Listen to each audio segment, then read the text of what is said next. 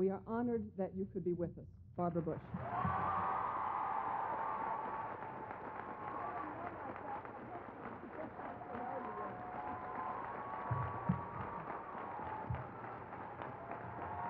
Thank you.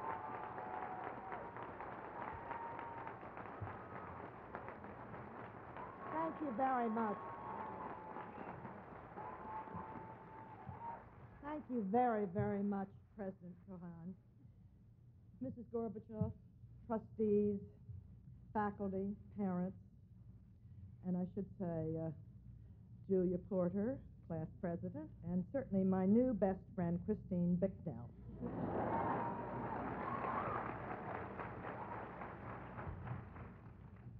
and of course, the class of 1990.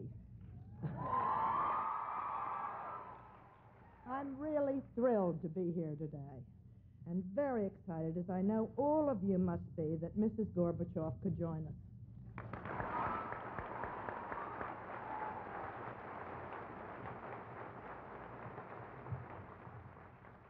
These, these are exciting times. They're exciting in Washington, and I had really looked forward to coming to Wellesley. I thought it was going to be fun. I never dreamt it would be this much fun, so thank you for that. More than 10 years ago, when I was invited here to talk about our experiences in the People's Republic of China, I was struck by both the natural beauty of your campus and the spirit of this place.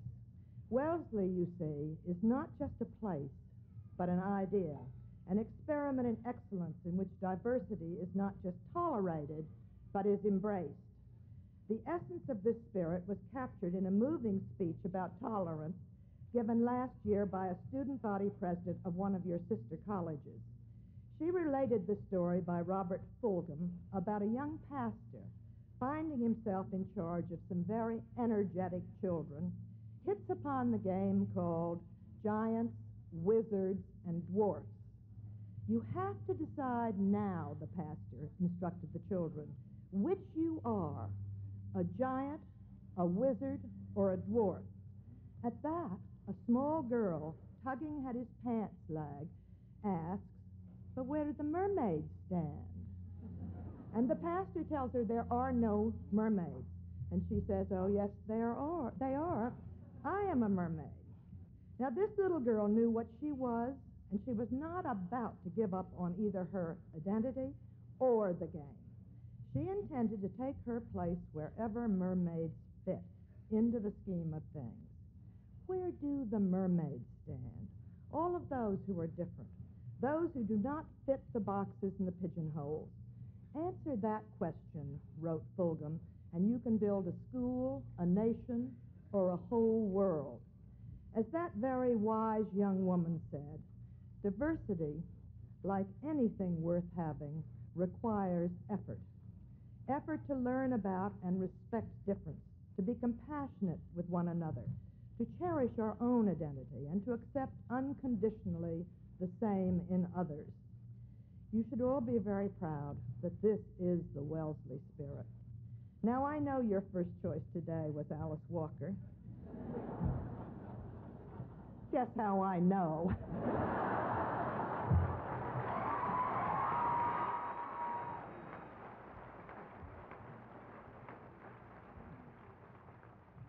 known for the color purple. Instead, you got me, known for the color of my hair. Alice Walker's book has a special resonance here. At Wellesley, each class is known by a special color. For four years, the class of 90 has worn the color purple. Today, you meet on severance green to say goodbye to all of that, to begin a new and a very personal journey to search for your own true colors.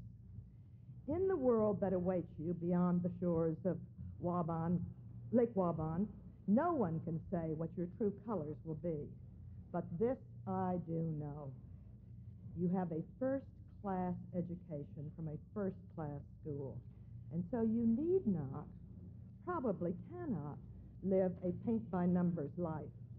Decisions are not irrevocable choices do come back. And as you set off from Wellesley, I hope that many of you will consider making three very special choices.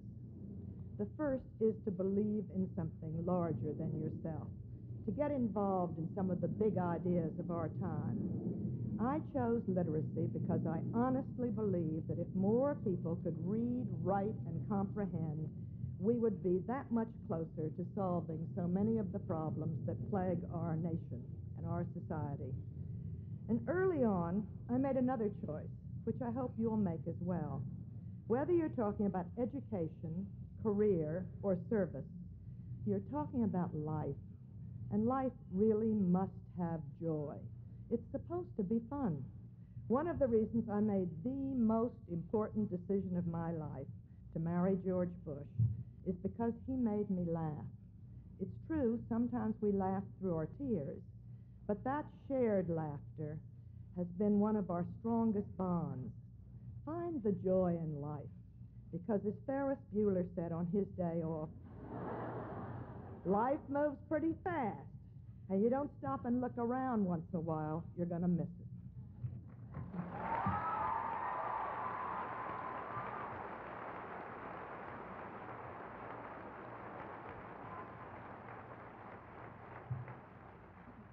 I'm not going to tell George you clap more for Ferris than you clap for George. the third choice that must not be missed is to cherish your human connections, your relationships with family and friends. For several years, you've had impressed upon you the importance to your career of dedication and hard work. And of course, that's true. But as important as your obligations as a doctor, a lawyer, a business leader will be, you are a human being first. And those human connections with spouses, with children, with friends are the most important investment you will ever make.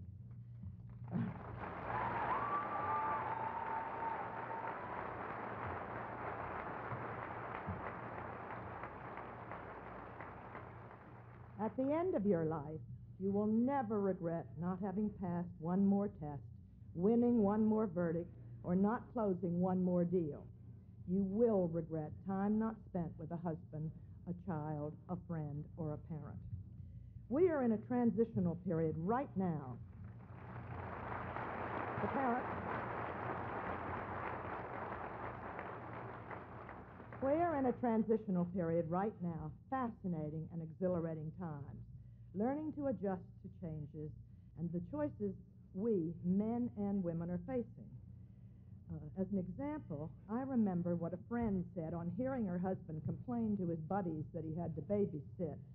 Quickly setting him straight, my friend told her husband that when it's your own kids, it's not called babysitting.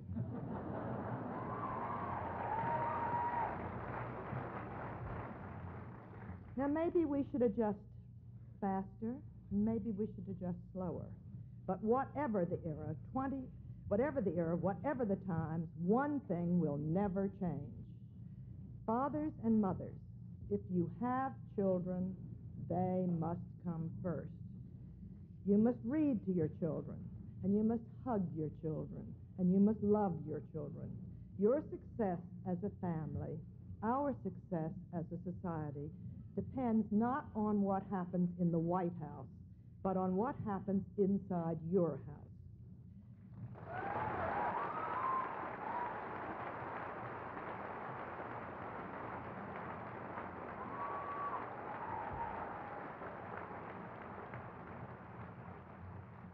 For over 50 years, it was said that the winner of Wellesley's annual hoop race would be the first to get married. Now they say the winner will be the first to become a CEO. Both, both of those stereotypes show too little tolerance for those who want to know where the mermaids stand. So, uh,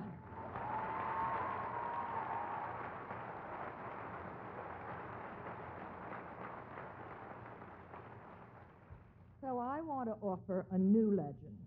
The winner of the hoop race will be the first to realize her dream, not society's dream, her own personal dream. And who,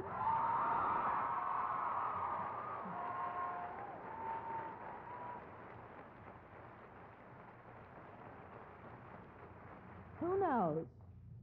Somewhere out in this audience may even be someone who will one day follow in my footsteps and preside over the White House as the president's spouse. And I wish him well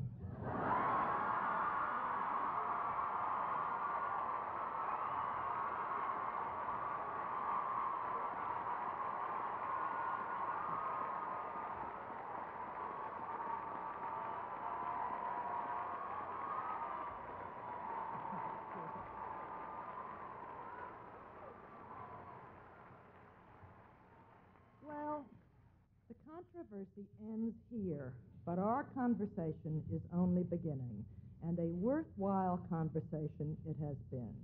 So as you leave Wellesley today, take with you deep thanks for the courtesy and the honor you have shared with Mrs. Gorbachev and with me.